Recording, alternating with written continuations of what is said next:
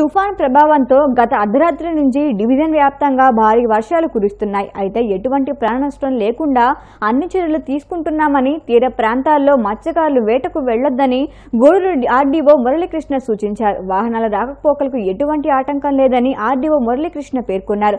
మండల స్థాయి అధికారులతో ఎప్పటికప్పుడు పరిస్థితిని సమీక్షిస్తున్నామని విపత్కర పరిస్థితి ఎదురైతే ప్రజలను సురక్షిత ప్రాంతాలకు తరలించేందుకు పాఠశాలలను గుర్తించామన్నారు. గూడూరు సమీపంలోని జాతీయ రహదారి వద్ద వరద ఆటంకం కలిగిస్తే ప్రత్యామ్నాయంగా వెంకటగిరి రాపూరు మీదుగా వాహనాలు పంపించేలా ప్లాన్ చేస్తున్నామని వివరించారు.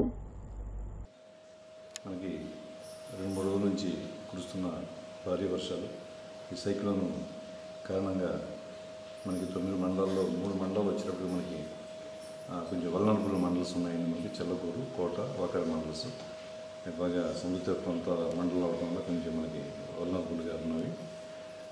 దానికి సంబంధించిన కొన్ని లో లయింగ్ బ్రిడ్జెస్ కూడా మనకు కొన్ని ఉన్నాయి. దాని మీద వాటర్ ఫ్లో అయితే రాకపోక కూడా స్తంభించే అవకాశాలు ఉన్నాయి కాబట్టి అటువంటి ముందే మనం అక్కడ concerned revenue people police people అట్లా ఇరిగేషన్ పీపుల్తో కూడా టీమ్స్ కూడా ఏర్పాటు చేయడం జరిగింది ఇలా గంగనపాలెం బ్రిడ్జ్ దగ్గర ప్రస్తుతానికైతే ప్రాబ్లం లేదు కానీ అక్కడ మన విఆర్ఓ విఆర్ఏని కానిస్టేబుల్ని కూడా పెట్టి రాకపోకలు ప్రస్తుతం నియంత్రించడం జరుగుతుంది. ఒకవేళ కానీ ఫ్లోయింగ్ ఓవర్ ఫ్లో అయ్యి కొంచెం ఏదైనా ఇబ్బంది వస్తే మాత్రం రాకపోకల్ని ఆఫ్ చేసి కొంచెం సరైన చర్యలు తీసుకోవడానికి ఆల్రెడీ కలెక్టర్ గారు కూడా ఒక ప్రొసీడింగ్స్ కూడా ఇచ్చున్నారండి. పోలీస్ డిపార్ట్మెంట్లో కన్సర్న్ ఎస్ఐ గారిని కన్సర్న్ తహసీల్దార్ని అలాగే ఇరిగేషన్ డిపార్ట్మెంట్లో ఒక ఏఈ కేటర్లో ప్రతి మండలాన్ని కూడా తొమ్మిది మండలాలు కూడా వేసి ఉన్నారు ఎక్కడ ఏదైనా ఇటువంటి సిచ్యువేషన్ వచ్చినప్పుడు వెంటనే ముగ్గురు కూడా కోఆర్డినేషన్తో ఎటువంటి వల్నరబుల్ సిచ్యువేషన్ లేకుండా కూడా చూడమని